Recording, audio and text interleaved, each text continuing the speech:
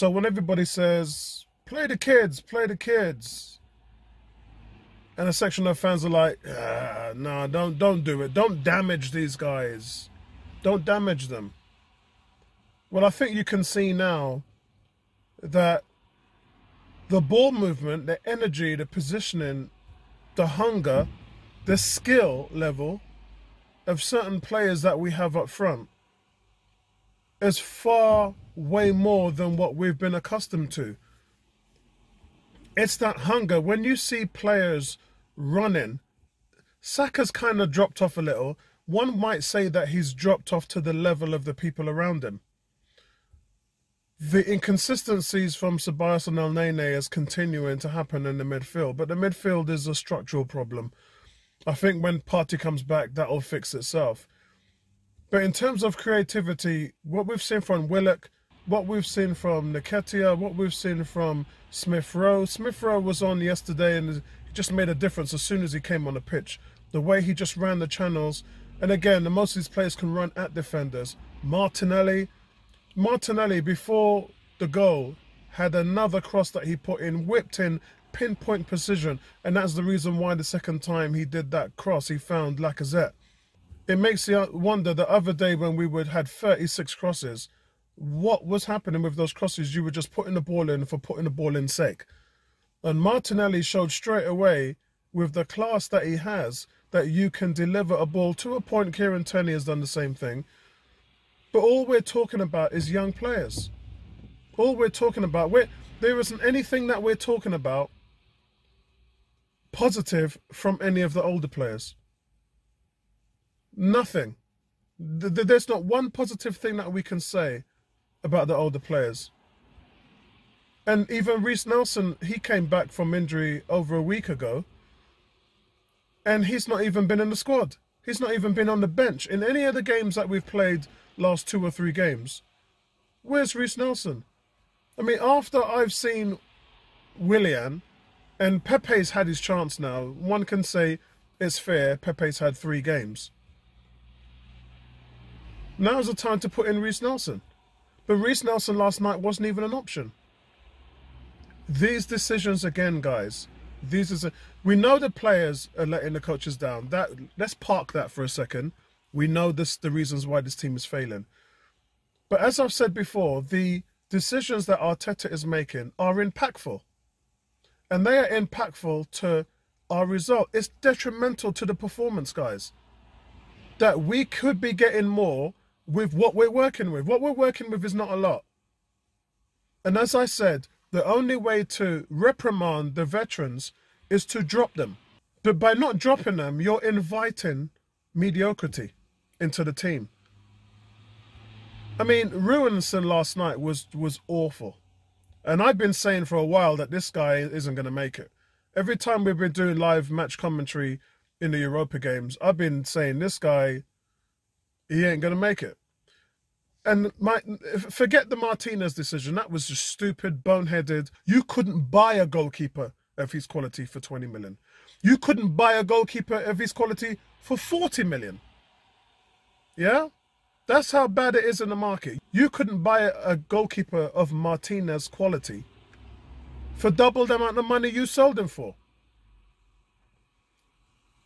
But you have ended up with this guy. If Bernd Leno gets injured, we are screwed. Well and truly screwed. Macey said already he's leaving next summer. Now you know why. Macey's better than this kid. He's three times better than this kid. We've seen Macey play at all levels. Yeah? And fair dues, he hasn't had the chance. But how are you going to buy a kid from nowhere, from a no man's league, and stick him in as your number two when you've got a guy you've been grooming since he was 10 years old? And Mustafi, oh my God. So here's the logic. Here's the logic. You have a scoring problem with Emery when you dropped Ozil. So you brought Ozil back into the team and all of a sudden Arsenal started scoring goals again. Mikel Arteta comes in the team. Ozil's not playing. He decides to play Ozil and all of a sudden the team is starting to score. And Ozil's creating more chances. then you drop Ozil. Mustafi is a guy who's also leaving, and you're playing him over a guy like Saliba. Where's the logic? Not not even Saliba. Let's leave Saliba out of it because he's not even on the roster, so he can't play. Pablo Mari came back from injury a month ago. How is Pablo Mari not playing and Mustafi, who continually makes these mistakes? I mean, Gabriel was dreadful. He was at fault for two goals, but I'm not even going to talk about Gabriel because Gabriel's 22. And remember when I said about Saka, when you've got somebody at that high ability, all of a sudden they look around and they see the players not trying, not running, not making any effort, and you start to play down to your teammates level. So maybe that's what's happening with Gabriel because Gabriel, last two games, he's been nowhere. And Gabriel is the master of clearances. If you cross a ball into the box, you can bet your bottom dollar that Gabriel's going to get his head on it. And last night, balls were coming in left, right, and center. Gabriel was nowhere to be seen. No clearances, just out of position, um, over penetrating, finding himself out of position way too far up the field. But but anyway, I digress. Mustafi, as I call him, this serial offender, time and time again, just at fault for not tracking players. And he's been doing it since the day he walked in here. If you're watching footage and you're a manager as smart as Arteta and you don't know that, and you're putting him ahead of Pablo Mari, that is insane. So Pablo Mari should be playing. Reiss Nelson should be playing. Smith Rowe should have had more minutes.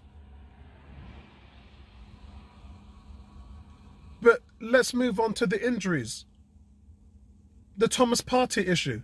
Why did you even play when you were told that there was a 20% chance that the injury could reoccur? David Luiz, why did you not take him off the field after he suffered the concussion and a head injury? Martinelli. Martinelli came on last night, got hurt, pulled his shirt over his head. Everybody was like, oh my God, I can't believe this. You came in at half time and then you let him go out in the second half because he probably told you he was okay. That's not his decision to make. You're the manager. The decisions that have been made at the top level is impacting our performance as well as a, everything's capitulating in itself. Players aren't good enough. Players aren't trying. Managers making the wrong, wrong decisions. Managers choosing the wrong players on the field. The tactics are wrong. Everything is impacting to cause these results. Everything. And we're, we're sitting down here and we're thinking, what's going wrong? Everything's going wrong. Absolutely everything's going wrong. And, and people are starting to check out now. I'm getting messages from fans saying I'm not I'm not watching the games anymore, Apollo. We said, look, Apollo, look, you know, let me know what's going on. I'll watch your video, but I'm not watching the game. And sorry, last night I, I couldn't do it. I, I couldn't sit in that chair for two hours because I've I've got a slight injury at the moment, so I, I couldn't do the game for it. So I apologise for that yesterday. But um, we didn't miss nothing. We probably saved ourselves from embarrassment. And anyone who thinks we're going to beat Chelsea, you're kidding yourself. But the one thing I do know is that these these young players, they need to be a part of the team. They need to be a part of the squad. And some of you guys are just thinking it's because they're young and, and it's replaced. No, they're actually better than some of the guys that we've got there. And it's not so much better. It's the effort. They're showing more effort, more aptitude, you know, more desire and a will to, to want to succeed for a young player to succeed at Arsenal, that is a dream come true. For an older player coming in here, getting a big high salary,